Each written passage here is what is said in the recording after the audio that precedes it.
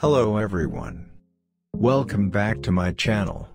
One of my viewers asked me to design this type of logo design video.